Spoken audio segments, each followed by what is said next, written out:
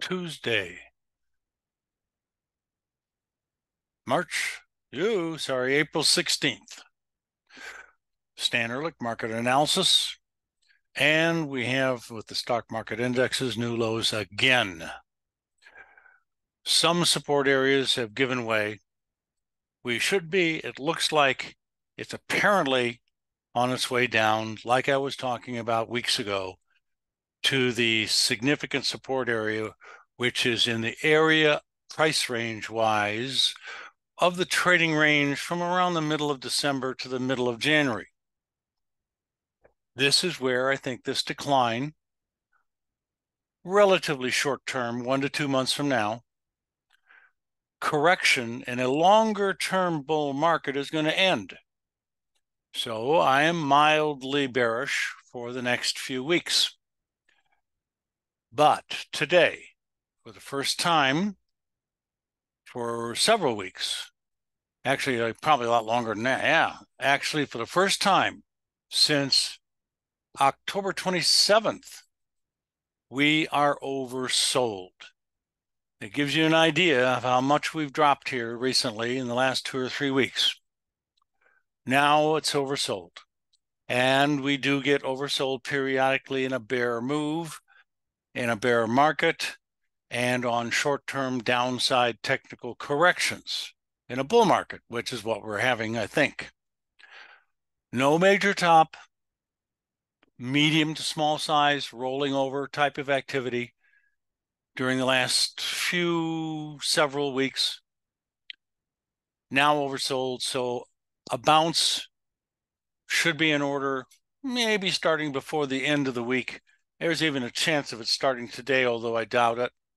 And it won't go very far. It won't last very long. And I think it's going to turn around and make new lows again possibly or probably as early as the beginning of next week if we see the bounce start pretty soon today tomorrow you know friday next chart is the e-mini also 30 minute giving you a perspective uh, every 30 minute vertical bar or candlestick doesn't matter the way this market has acted and it was back here on uh, march 20 approximately through uh, March 1st, April 1st, that it actually little tiny double top over a week finished rallying. Zigzag down, new low, no new high, new low, no new high, new low, no new high, new low today. But now it's getting oversold. So I'm watching for a bounce. On the bounce, I might be interested in shorting it.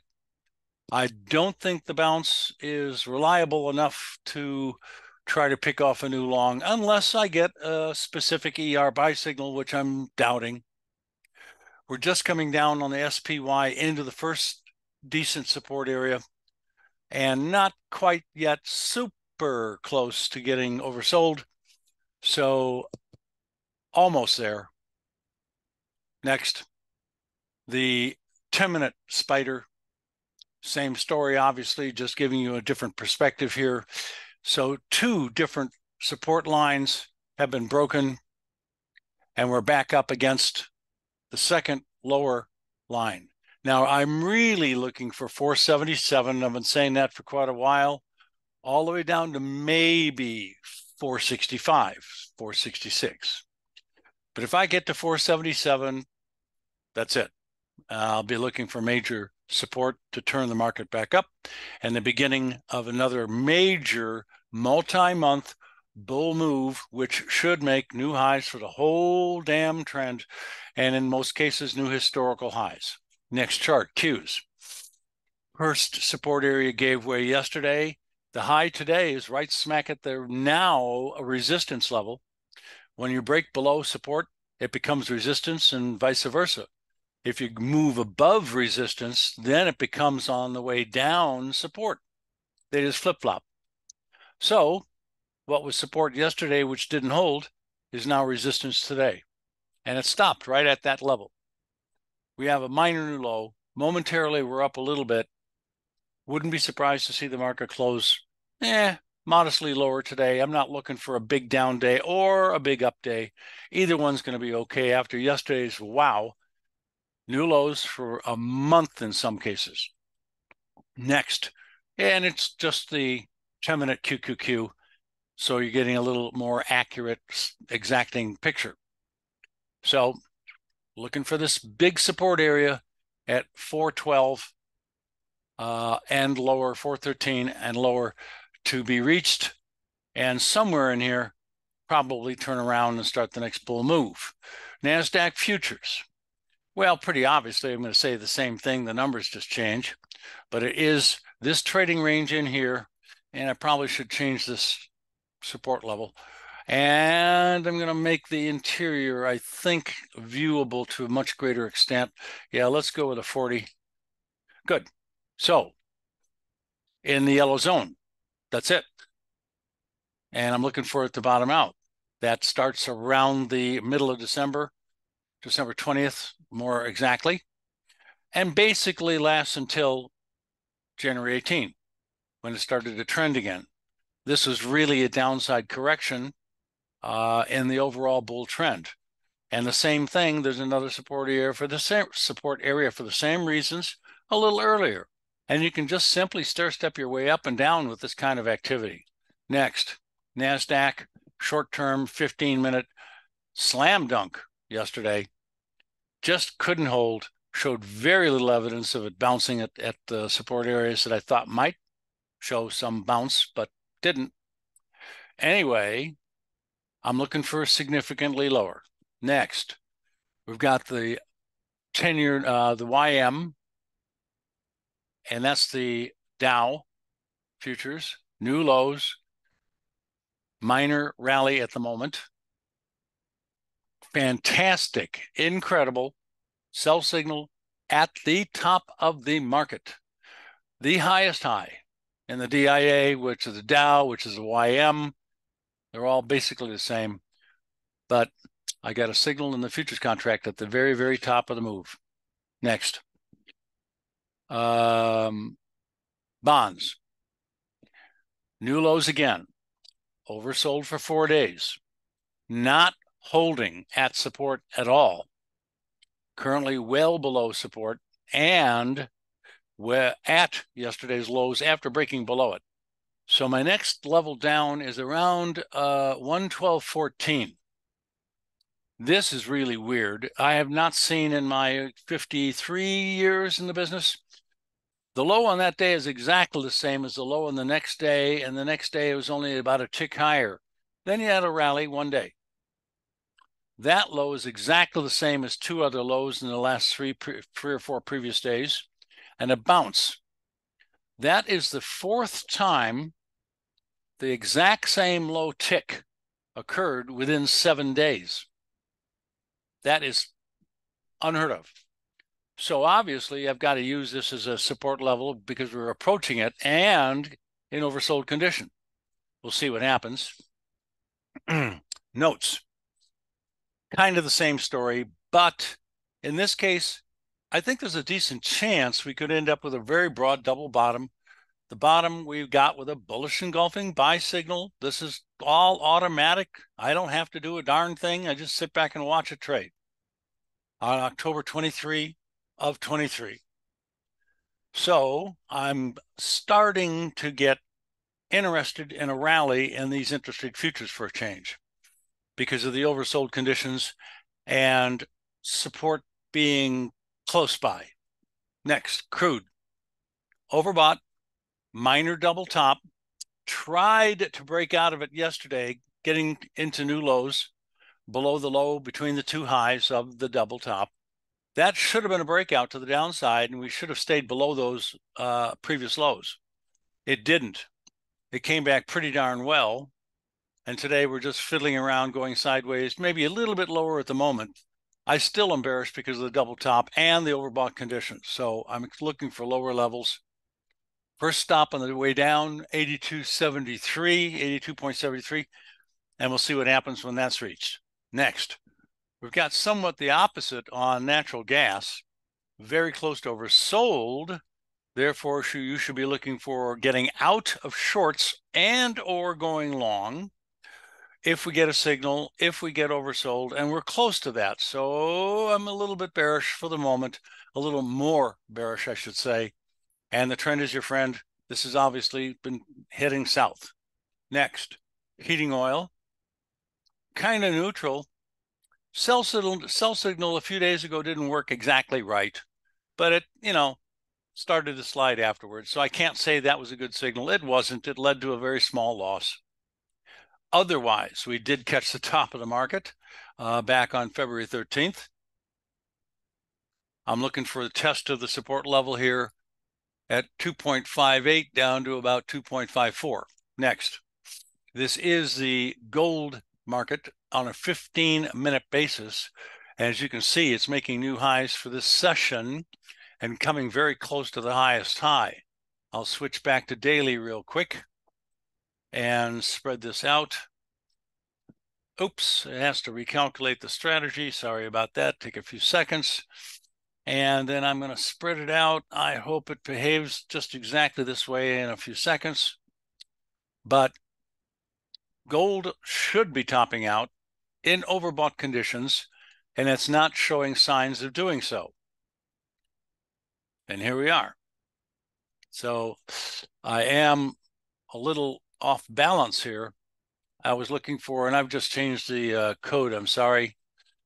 And going back to gold, breaking below this little line I drew, that should be the trigger that we have a top in place and we're going to see significantly lower levels after that. But Yesterday, it came down to the line, stopped cold turkey at that little support line, and is now rallying. I can't help it. I continue to have to say this market should be topping out, but also be patient, wait for the signal, wait for the indications that it's rolled over, and then maybe do something about it. Silver, same kind of story. Very short term chart here at the moment, 15 minute. Going to go to the daily, but I'm going to have to wait a few moments for the calculations to occur but the spike on silver is very substantial and we're overbought substantially. And I'm looking for exactly the same kind of a downside swing. I'll wait maybe five more seconds here for this to finish calculating. And if you look at the line of text in the upper left, it says the word calculating at the very end of it. It's small and it just finished very good. And pull it apart, get some detail here, zooming in, so to speak. And same thing, looking for support uh, to give way and close below that little line I drew. Next, platinum. Today, it made a little bit lower low than yesterday, and it's a minor new low for the last few days, and it's staying rather soft. So I'm kind of expecting the same thing to happen in silver and gold very soon, but platinum's platinum's starting to do it already. Fine. Uh, it's put its toe in a support area already and bouncing off of it very mildly. So I'm not trusting this rally. We're still probably going to drop off more. I can't rule out a move down to around 900. Next, copper. Well, how about that?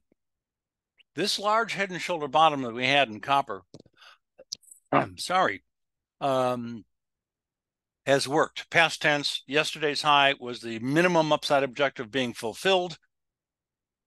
Pattern is now history. Not a problem with it. Um, almost a textbook example.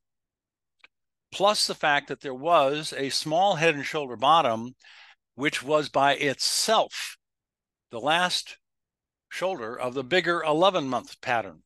The small one took about mm, two and a half months, two months, something like that. Its shoulder was on January 18. The shoulder of the big pattern is the head of the small one on February 9th. And then the last shoulder on the small one was on March 1st.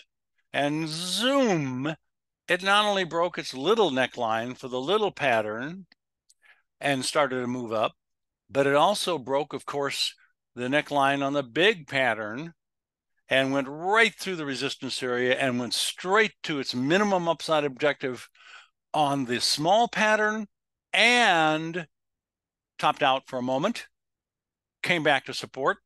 That's your typical correction toward the neckline on the big pattern. And up you went, and we yesterday got to the minimum objective on the big pattern. Wow. This is a fairly rare example of a head and shoulder inside of a head and shoulder. I'm not joking. Weird, but they happen. Probably seen maybe 50 of these things in 50 years. So not very many at all. Pattern's over. Done. Worked. Great. And it was a double. Now what? Resistance. We're coming down. We're now trading at the moment below the resistance, which was right in the middle of our upside objective. So I think we're going to come back at least to close the gap here at 4.1375. And that may not hold. I'm looking for another test of support at 4.02 or 3. Yeah, 4.02 would be about right. Next chart soybeans, oil, meal, corn, wheat. And I got to say it again we have caught the bottom in four out of five of those commodities I just mentioned. Beans is the only one that we didn't catch the signal at the bottom. It was oversold, did rally to resistance and threw it a bit more than I expected. And now we're basically heading down to probably new lows for the trend. I've got a line drawn and uh, when it hits new lows. There's a chance, of course, of a double bottom. It is oversold, so we have to watch for that possibility. But basically bearish with possible bottom formation developing, but let's see it start first. Next, soybean oil. We caught the bottom of the market in oil, meal, corn, and wheat. Here's the first one. This is not the exact bottom, but it's good enough. And it was on April, March 1st, sorry. And now we're back down to that same level after a very nice rally. So it worked great. So what are we going to do here in support and oversold? Well, that is a prime situation for a rally to start. And if that's true and it does start, you're going to start to see something that might look like a double bottom formation. So we'll watch for that. I've been trying to justify bullish uh, opinions and grains for the last month or two, and they just don't work out. I might have caught a rally of some sort, which I basically did because of my signals they didn't go very far. They didn't last very long, and that's kind of what I was thinking was likely. Eh, that's all I can say. New lows expected. Sorry, maybe a bottom, but not yet. Meal, we caught the exact lowest low by a tick, meaning that February 29th low was a tick lower than two days earlier. Nice rally, moved up very nicely, possible bottom formation. Looked like it was breaking out yesterday and or the day before. And now i'm going to erase the upside objective and the lines associated with it. And this is not a head and shoulder bottom which i thought it might have been we are trading way below the neckline a no no likely to close below the neckline a major no no and that pretty much kills the pattern. So bye-bye neckline and objectives and measurements. Now what? Big sideways, bear trend, major support, not oversold yet. So I think we're going to slip to the next oversold level, which is the huge major long-term support, and see what happens there. Next, wheat. Sorry, corn, corn. We caught the exact V bottom with a bullish engulfing ERP signal the green. All you got to do is look for green and red. And we're going sideways for the last few weeks. I do think it's going to do the same thing the other grains are likely to do, and that's go down more and or break the lows. And uh, finally, the wheat, we got two signals at the bottom, back to back, day by day, right next to each other. And the second lowest was the bottom of the wheat market to the exact day. Now, the rally wasn't that big a deal, but that's what I've been saying about grains all along. I can't justify any significant bull market. Grains look like they're going to continue to just basically chew away at lows and continue with their bear trends on the average. Okay, cattle. nice rally today, high and last almost, and coming out nicely of an oversold, previous oversold condition. And that explains the rally. We didn't have a bullish engulfing at the bottom, unfortunately, therefore, no buy signal. We did here, just at the very early part of the rally, we caught a sell signal on the exact whopping big high of the move on September 19th of 23, which led to a huge break from 189 all the way down in a few months down to 160, 161. Big break. Uh, some other great signals, another bear signal there and there, and that's okay. Not the best. Kind of hard pressed to see some buy. That was a buy signal right there that did not work very well. Now it did go up for a couple days, so there was plenty of profit potential, but it, profit was small, very small. Um, that's a different story. Okay, mildly friendly. Maybe we're going to get back to about 180. Wouldn't be surprised.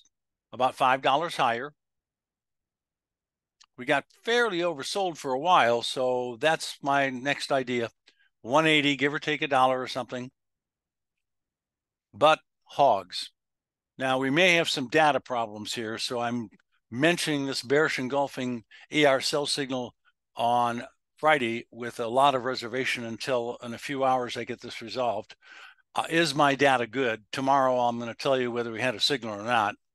But if we did, then if the data is good, and I've tried to verify it with other sources, and I can't quite do it in time for the recording here, but wow, hogs apparently went limit down, lock limit down periodically before the close. We saw just barely an outside down day, and because supposedly Thursday's rally was very small, the ER1 short sale scalp, and position trade got short at a very high level relative to yesterday's range, which would have been around 105.40. And a huge day trade profit and a really, really good start on the ER1 overnight, which I'm not showing you, but I have the little green dots there for the uh, uh, day trade scalp. Again, this is past tense. You can't repeat it, so I can talk about it. If the data changes and that does not produce a bearish engulfing on Friday, then what I've just said is is irrelevant because the data was misleading. Next, and I'm now going to go to back to the E-mini just to keep it in sight here to see what happens by the time we're finished, which is a few minutes from now. We're going to be looking at the New York ICE Exchange futures, the RBOB unleaded gas, higher today, possible new high close, getting close to making new highs for the whole trend. We did get overbought a couple days ago. And We had a very minor correction yesterday. Is it topping out? Maybe. Can't tell yet. We have two new highs since overbought back here on March 19 with a very high RSI level. But the other two RSI overbought conditions were at lower levels on the RSI scale on both the next one and the next one while at the same time the prices were higher and then higher. It has to do with the number of days it takes to go up and the amount it takes to go up, sort of like saying something about momentum, but that's why the RSI didn't make a higher high along with price. It's called a divergence. Sometimes people look at that to try to discover topping out activity, and I basically agree. There's a possible top building, but I don't see it yet. Next. OJ, I keep raising the top of this pennant line from what I think was originally down here to then up to here and then to here. Now it's still maybe a pennant, but you're not supposed to have to move those lines around. The bottom has been the same ever since obviously this low right here, March 21. But the market refuses to break out, stay broken out, and rally up even more after it breaks the bear trend line. It just won't quit. But there's no follow through. I don't have any higher highs except for a short period of time. It's going right back into the middle of the trading range, the middle of the pennant. Um, I can't, I got to wait. This is just a, a waiting game. Next, coffee. well, I got to guess, of course, not being a fundamentalist, there's something wrong with the crop or whatever. It happened with orange juice. Uh, it may still be in, in happening. Um, so coffee and cocoa, I think, are grown maybe in somewhat similar geographic areas to having something to do maybe with the problem causing cocoa and coffee to go skyrocketing. But it's overbought and terribly overbought. This is the most overbought. I have to give you an educated guess that coffee has been within years 96 almost. What is the high today on the RSI? It is a 95.59. Huge. Very, very rare to see it in the 90s to begin with. And that usually tops out the market. So this means to me, when it turns down, it's going to be big, sharp, and very quick, and a very large break. But it's not start, starting yet. Next, cocoa. Now, the pattern I've been talking about is a broadening top. They're rare. And I'm doing something new here for you today. I've filled in maybe the next three days of activity in advance in a general idea sense. The top we're running away from on the downside very quickly. Today's low and last is under yesterday, the day before, the day before, and about the day before that as well. Four previous days worth of price range have gone bye bye, and we're now below it. That sense tells me that the top of this broadening pattern may stay that way, and that's it. Yesterday was the top. In the next few days, I will not be surprised to see it continue to drop off to the bottom of the broadening pattern. There, here's the important part. If I'm right so far, and we do get down to the bottom of the broadening top, it's supposed to crash through the bottom of the broadening top and just slide down like crazy. I got to guess maybe down to 76, 20, 65, somewhere right in there because of this these little lows here then come back up maybe about halfway into the pattern and then collapse. Now, when we get to the bottom of the pattern, there's another thing that could happen. It could stop right here and rally halfway into the pattern and then crash through the bottom. Next, sugar. Oversold like crazy, very low, 10.31 at the moment. It actually got down to a low today, RSI wise, of 10.31, almost under 10. Again, very likely to produce or about to produce a bullish turn back up again. We today we have broken below uh, major lows that we saw before. I'm going to cotton, same story. And here's RBOB again. Thanks very much. Have a great day. Stan Ehrlich. Bye bye.